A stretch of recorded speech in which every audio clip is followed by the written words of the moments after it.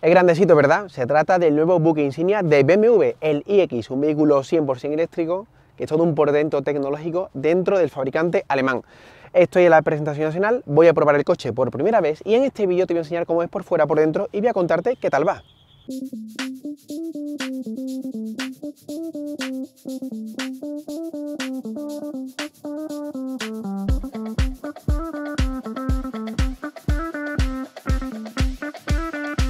Y ya que estamos en la presentación, me ha parecido oportuno poner una unidad junto a otra para que veáis ciertas diferencias. ¿Por qué? Porque esta es la 40, esta es la 50, pero a nivel estético hay bastantes diferencias porque este tiene un paquete deportivo.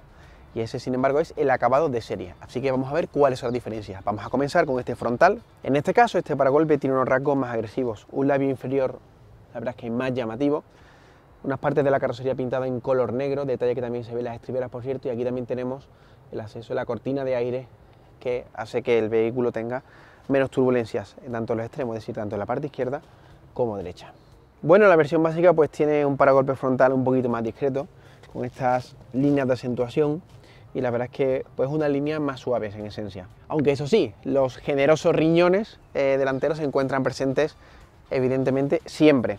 Como una peculiaridad de estos riñones además es que aquí detrás se encuentran los radares de proximidad que forman parte del sistema para el control de crucero adaptativo y todo esto. Por cierto, tiene un acabado especial que en el caso de dañarlo, si el daño no es muy grave, se autorreparan.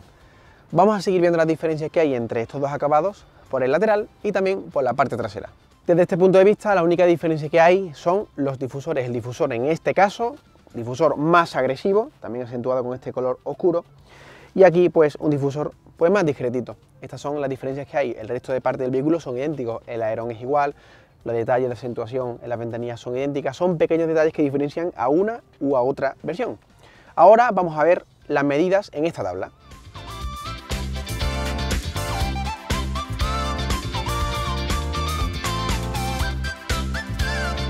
Fijaos este detalle curioso en el logotipo de BMW. No es un enchufe, es el lugar por el cual podemos reponer el líquido para limpiar el parabrisas.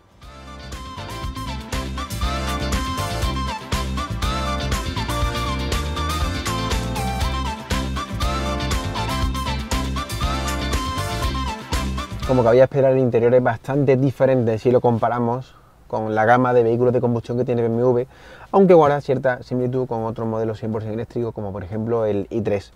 Con esto quiero decir eh, que guarda cierta similitud en el concepto del espacio, en parte también por compartir una arquitectura 100% eléctrica. Como sabéis, este tipo de arquitectura permite meter en el habitáculo mucho espacio para el interior porque no hay elementos que sí que hay en vehículos con motor de combustión, con motores térmicos.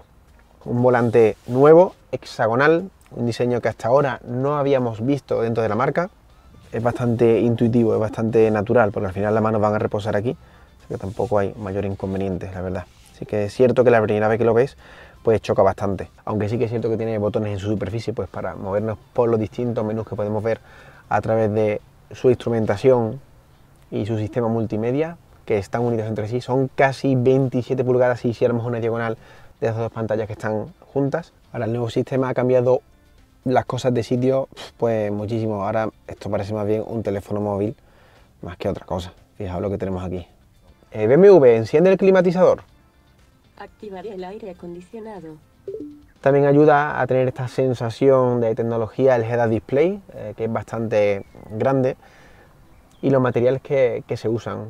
Hay buena calidad dentro, es cierto que recuerda a la gama alta de BMW, estamos hablando de acabados tipo Serie 7, aunque sí que es cierto que los elementos que se han elegido para este modelo son en su mayoría reciclados. Peculiaridades, pues también nos encontramos que para ajustar los asientos se encuentran en la puerta, en acabado nuevamente de cristal, que esto es opcional, que va incluido con este elemento que tenemos aquí, y que tenemos un botón para abrir la puerta, no un tirador como ocurre en otro modelo. Estos eh, botones para abrir las puertas, esta apertura eléctrica, se encuentran en muchos vehículos eléctricos o vehículos eh, que han llegado al mercado en los últimos años.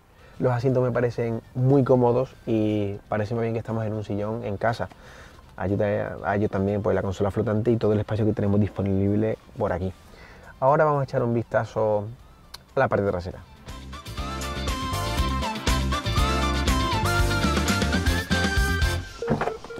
Tiradores, la verdad es que hay que hacerse a ellos.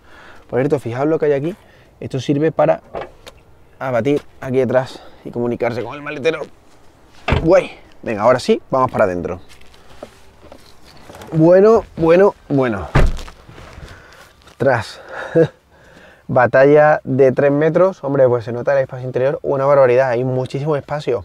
Mido 1,80 m y el espacio que tengo en la rodilla es con el asiento configurado para mi estatura. Es el espacio que hay para las piernas todavía disponible. Una pasada. Una cuarta prácticamente. Y también hay muchísima altura para la cabeza. Así que personas de incluso más de 2 metros de altura van a entrar aquí cómodamente. Aquí también tenemos el interruptor para abrir la puerta, espacio para dejar objetos en el respaldo del asiento delantero, que por cierto tiene un diseño bastante chulo, que ahora sí que se aprecia. Ayuda también que el espacio para la pierna sea bueno, que no hay un túnel de transmisión que reste espacio para los pies para el hipotético pasajero central. Así que voy a sentarme.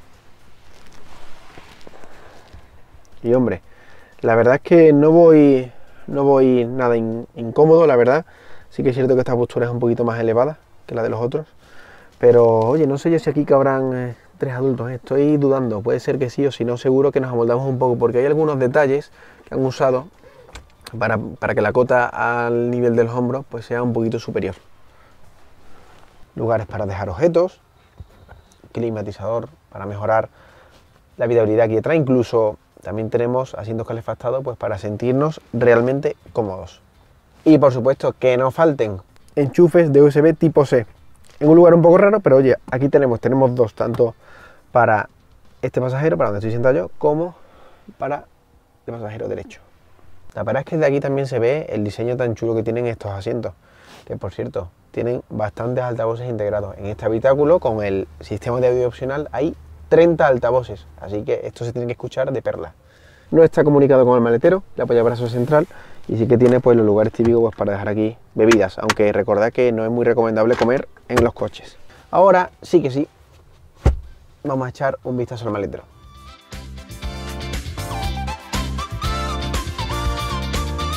Bueno, he dudado, pero sí, apertura manos libre, también podemos hacerlo desde la llave.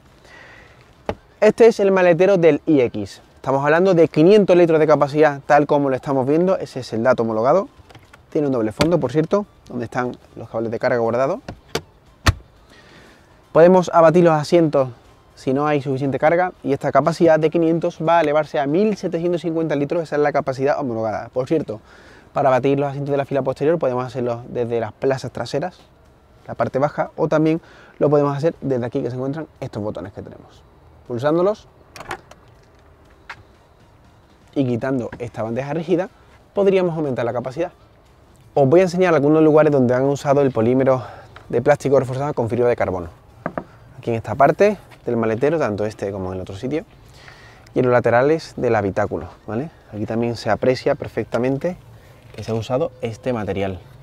Es una pieza además que aquí en el pilar A se engarza con acero de alta resistencia, como también se hace en el Serie 7. No es como el i8 y el i3 que tenían todo el chasis de, de este polímero, pero se usa también un poco pues para ahorrar peso. Y ese es uno de los puntos críticos de todos los coches eléctricos de nueva generación. El nuevo iX en su versión X-Drive 40 homologa un peso de 2.365 kilos y la versión X-Drive 50 145 kilos más. El modelo se ensambla en Alemania, allí recibe sus baterías de alto voltaje, refrigeradas por líquido y con 105,2 o 71 kilovatios de capacidad neta según versión así como los motores eléctricos, uno por cada eje. Por eso el iX tiene tracción total, aunque como en los modelos de combustión de BMW, este sistema no es permanente. El eje trasero tiene un mayor protagonismo y se apoya en el delantero para transmitir toda la potencia al suelo. Para garantizar su vida útil, el iX equipa de serie un sistema de calefacción y refrigeración para el habitáculo y una bomba de calor que vela por el sistema de propulsión. Además, realiza una gestión térmica anticipada que permite optimizar la temperatura de la batería para realizar una carga rápida antes de realizar la parada.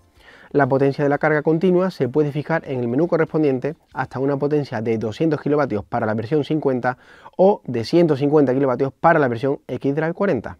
Por cierto, las pruebas de seguridad realizadas por EuronCap a este modelo han tenido un resultado excelente, 5 estrellas, con muy buena protección para todos los ocupantes.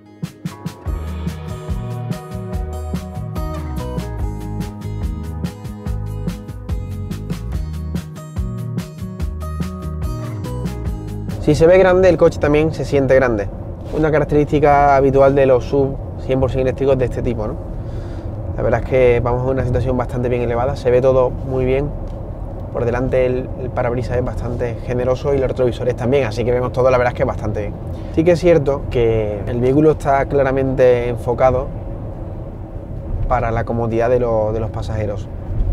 Su sistema eléctrico tiene potencia, ¿vale? Te, te permite acelerar con, con, firmeza y con rapidez, pero desde luego me parece que todo, todo el enfoque de este modelo gira en torno a transmitir una experiencia de conducción buena. La verdad es que las indicaciones de realidad virtual de la navegación están bastante bien conseguidas. Ahora salga de la rotonda en camino de los Ardales y de inmediato gire a la. Mira, me lo estaba señalando bien. Ahora gire a la izquierda en paraje de Navaquemada. Independientemente de la versión elegida, de la 40 o la 50, la arquitectura es idéntica. Hay un motor delante, otro detrás, sí que es cierto que cambian los datos de consumo y también el de las prestaciones. Ahora vais a ver una tabla para ver estas diferencias. En este caso estoy conduciendo la versión de acceso, la 40, y a priori me parece más que suficiente pues para tener una experiencia buena, una experiencia digna de un BMW de gama alta como este.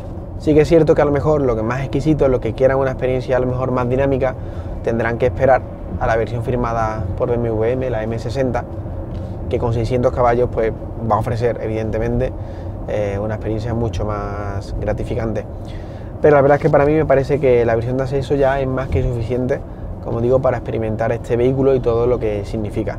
Tiene diferentes modos de conducción, o sea, se desde el botón My Modes o My Mode está el modo personal, el modo Sport y el eficiente. Os podéis imaginar, ¿no? De para qué sirven estas cosas, ¿no?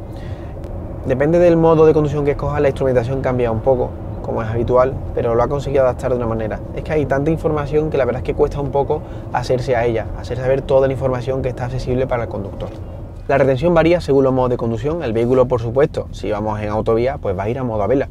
Pero también tiene mucha retención según las condiciones de conducción. Si el vehículo detecta que tenemos un vehículo delante, por ejemplo. Pero también podemos forzar al modo B, si le volvemos a dar para abajo, pasamos del modo D al modo B, que si soltamos el pedal prácticamente puede detener el vehículo de toda la energía que tiene. El BMW iX trae muchas novedades para la marca, un nuevo sistema operativo con la posibilidad de adquirir nuevas funciones bajo demanda, un novedoso habitáculo con nuevos elementos y mucho espacio, y una arquitectura eléctrica de nueva generación que junto a los nuevos sensores y radares que equipa, le permitirá convertirse en un vehículo autónomo de nivel 3 a medio plazo.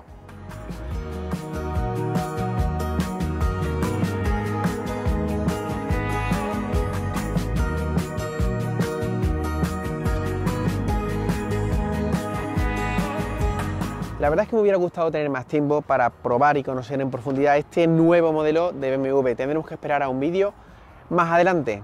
¿Qué es lo que os parece? Si tenéis alguna duda de él, podéis dejarnos un comentario. Un saludo y nos vemos en la próxima.